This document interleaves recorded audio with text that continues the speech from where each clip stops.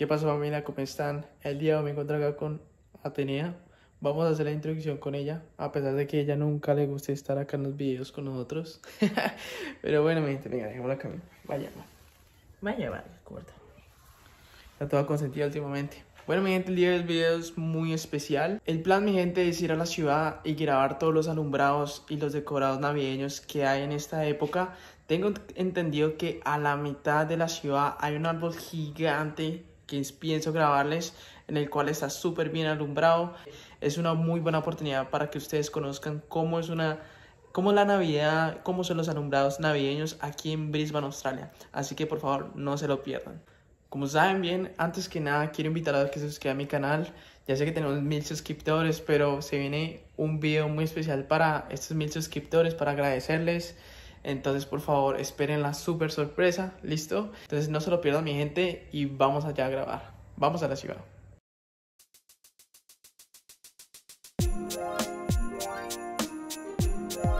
Bueno, para empezar, quiero contarles que fue un parque muy popular en Brisbane llamado Roma Street Parkland. En este lugar había un evento llamado The Enchanted Garden y podíamos encontrar camiones de comida alrededor y muchas familias.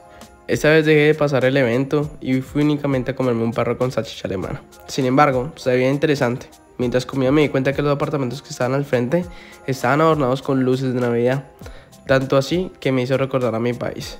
Digo esto debido a que no es normal encontrar varios apartamentos juntos con luces navideñas. Al rato, pasé a la City y me encontré con el gigantesco árbol de Navidad que había en el King George Square.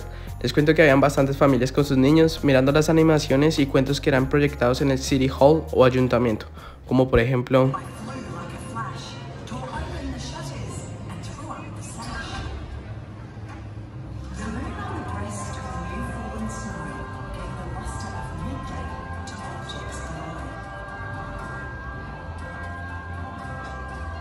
Continuando mi recorrido, pasé por el Queen Street Mall, donde habían artistas y algunas figuras relativas a la Navidad para tomarse fotos. Después, fui al Legal Street Pier, donde podemos apreciar a la luna al lado del famoso Story Bridge, que se encontraba iluminado con luces navideñas. Algo hermoso, en serio.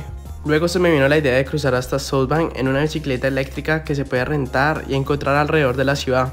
Una muy buena idea, by the way, porque uno llega rápido, ve la luz alrededor y siente la super brisa durante el camino. Y bueno, ya al otro lado de la ciudad en Southbank podemos ver el nombre de Brisbane y al lado el puente llamado Victoria Bridge. Y claro que no se nos puede olvidar la rueda del canal de televisión 7 News, que también se encontraba iluminada con la temática navideña. Aquí termina nuestro recorrido, espero que les haya gustado el video, que se hayan informado y hayan conocido cómo se viste la Navidad en Brisbane, Australia. Muy bellos los lugares y un tour que los invitaría a que hicieran cuando estén por aquí en la temporada navideña. No se pierdan el próximo video, fam, y suscríbanse. Un abrazo.